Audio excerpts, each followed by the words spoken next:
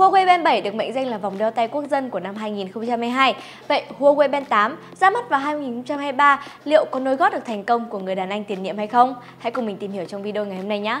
Chào mừng các bạn đã quay trở lại với Hoàng Hà Channel. Dành cho những ai đang quan tâm tới sản phẩm Huawei Band 8, mình sẽ để link dưới phần mô tả dẫn tới website hoàng hà mobile.com. Tại đây thì các bạn sẽ được mua sắm các sản phẩm công nghệ với mức giá cực kỳ ưu đãi, được trả góp khúc phần trăm và áp dụng các chương trình khuyến mãi thanh toán thì còn được giảm sâu hơn thế. Để biết thêm những thông tin chi tiết thì đừng bỏ qua link ưu đãi này nhé. Theo như thông tin mà hãng chia sẻ thì Huawei Band 8 là một trong những sản phẩm công nghệ phải nói là có độ dày mỏng và có trọng lượng nhẹ nhất của Huawei từ trước đến giờ. Ngay bây giờ thì chúng ta sẽ cùng nhau kiểm chứng với một cân tiểu ly.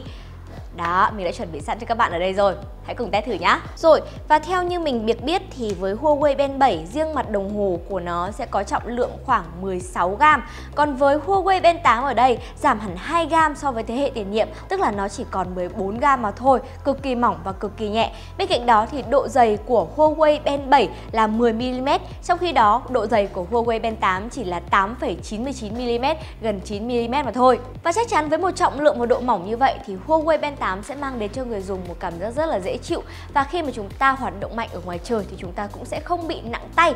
Bên cạnh đó thì mình thấy ở đây, đó là khi chúng ta đo cả với trọng lượng dây đeo thì nó chỉ khoảng là 24 đến 25 g mà thôi. Về mặt thiết kế thì Huawei Band 8 không có quá nhiều điểm khác biệt và nâng cấp so với thế hệ tiền nhiệm. Tuy nhiên thì hãng vẫn giữ vững phong độ đó là thiết kế một màn hình dạng vuông vức hơn là so với các hãng hiện nay đang sử dụng cái màn hình con nhộng cũ. Như vậy thì chúng ta cũng sẽ có một cái màn hình lớn hơn 1,47 inch. Bên cạnh đó thì chúng ta cũng rất là dễ để thao tác hơn. So với các thiết kế hình con nhộng thì chắc chắn là một cái màn hình vuông vức như thế này sẽ dễ dàng để cho các bạn có thể nhìn hình ảnh này, không bị lẹm hình này và chúng ta cũng vuốt chạm và chọn các tính năng một cách dễ dàng. Ngoài ra, Huawei đã tinh tế thiết kế phần thân của ben 8 hơi cong một chút để ôm sát cổ tay hơn, vừa tạo cảm giác đeo thoải mái, vừa là để các cảm biến ở phía dưới có thể hoạt động một cách chính xác. Chia sẻ kỹ hơn về các phiên bản màu sắc thì hiện nay tại website hoangmobile.com đang có 3 phiên bản màu sắc cho Huawei Band 8, đó là màu đen bóng đêm, màu hồng anh đào và màu xanh ngọc bích. Với phiên bản màu xanh ngọc bích thì là phiên bản dây đeo duy nhất sẽ có màu hơi trong một chút, còn với hai phiên bản của màu hồng và màu đen thì chúng ta sẽ vẫn giữ nguyên là một phần dây cao su đục. Như vậy thì với phiên bản màu xanh ngọc bích này, đây mới gọi là điểm nhấn của Huawei Band 8 năm nay so với thế hệ tiền nhiệm là Huawei Band 7 các bạn nhé. Phần dây đeo này cũng có thể tháo ra một cách dễ dàng để thay thế các loại dây đeo khác, chỉ mất khoảng vài giây cho thao tác này. Cách gắn dây đeo của Huawei Band thì cũng đã được Huawei thiết kế lại, dễ tháo và dễ vệ sinh cũng như là linh hoạt hơn so với thế hệ 7. Được biết, Huawei có khá nhiều tùy chọn màu sắc cho dây đeo như là màu đỏ, màu đen và màu xanh, màu hồng. Nếu như các bạn thích các phiên bản màu sắc khác nhau, các bạn hoàn toàn có thể đặt trên sàn S nhé. Về phần màn hình thì lại tiếp tục là một điểm cộng lớn trên Huawei Band 8 bởi máy sở hữu một màn hình lớn, thậm chí là có thể sánh ngang với các mẫu smartwatch cơ bản và nhỏ ở thời điểm hiện tại. Đó là một màn hình 1,47 inch AMOLED và chúng ta sẽ có Full View Display. Với một tấm nền cao cấp, độ phân giải là 194 x 368 pixels, mật độ điểm ảnh là 282 ppi, tức là chất lượng hiển thị ở mức rất tốt. Được biết thì màn hình của Huawei Band 8 đã được nâng cấp độ sáng hơn một chút so với phiên bản tiền nhiệm, từ 450 nit lên 500 nit, giúp người dùng có thể sử dụng tốt hơn ở điều kiện trời nắng gay gắt.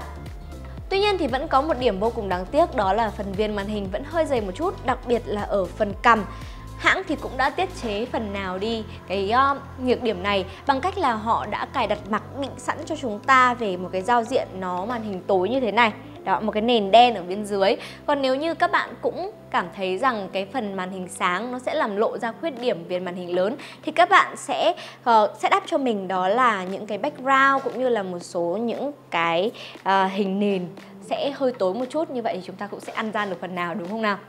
Về các tính năng chăm sóc sức khỏe thì Huawei Band 8 so với thế hệ tiền nhiệm là Huawei Band 7 thì cũng không có quá nhiều điểm nâng cấp. Ở đây thì chúng ta sẽ thấy rõ nhất là các chế độ tập luyện. Các chế độ tập luyện trên Huawei Band 7 thì sẽ là 95 chế độ tập luyện. Còn với Huawei Band 8 chúng ta sẽ được tăng lên là 100 chế độ tập luyện giúp các bạn có thêm nhiều lựa chọn hơn để lựa chọn cho sức khỏe, cải thiện sức khỏe cho bản thân mình. Bên cạnh đó thì các chỉ số đo sức khỏe chúng ta sẽ cũng được làm tính toán một cách nhanh nhạy hơn, chính xác hơn, nhạy cảm hơn. Chúng ta sẽ có hẳn một biểu đồ trực trực quan trên ứng dụng Huawei Health. Huawei Band 8 được trang bị loạt cảm biến sức khỏe bao gồm True Sleep 3.0, True Sim 5.0, True Relax và True Sport, cho phép theo dõi giấc ngủ, đo lường nhịp tim, đo chỉ số SpO2 theo thời gian thực, cũng như nhắc nhở giúp mọi người thư giãn sau khoảng thời gian làm việc căng thẳng.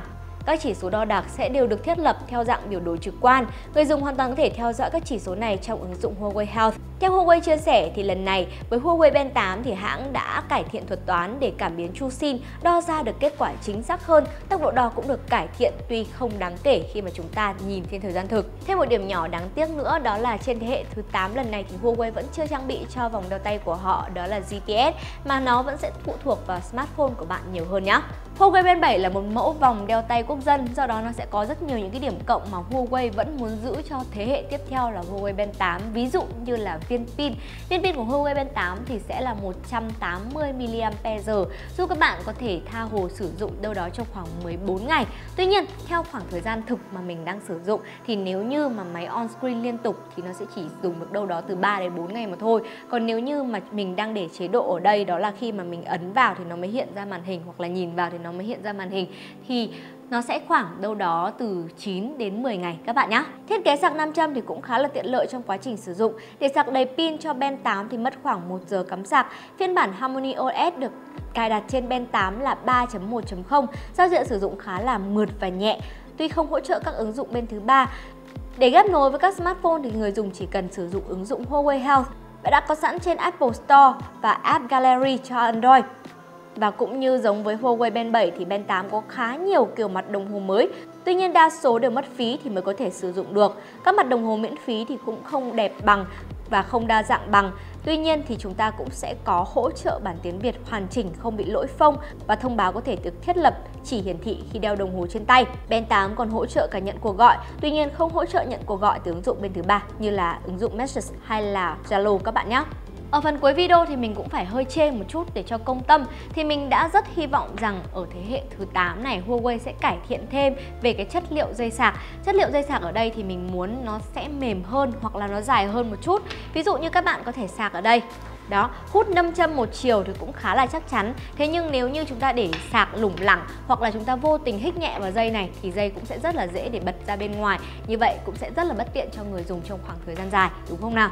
Là một người dùng cả Huawei Band 7 và Huawei Band 8 thì mình đánh giá rằng thế hệ tiếp theo này Huawei đã làm rất tốt ở phần trọng lượng cũng như là về một số những cái tính năng nâng cấp về phần mềm bên trong như là các chỉ số đo một cách chính xác hơn và nhanh nhạy hơn.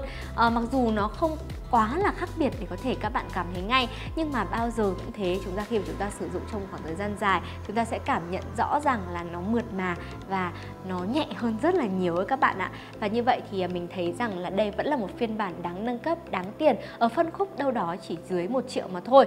Các bạn thấy sao? Nếu các bạn đồng ý với mình thì hãy comment phía dưới. Mà nếu không đồng ý thì cũng hãy comment phía dưới để mình biết thêm ý kiến của các bạn nhé. Bây giờ video cũng đã dài rồi. Đừng quên ấn like, subscribe cho Hoàng Ngà Channel. Ấn nút chuông thông báo để sớm gặp lại chúng mình trong tương lai nhé mình và Huawei Ben 8 xin chào. See ya.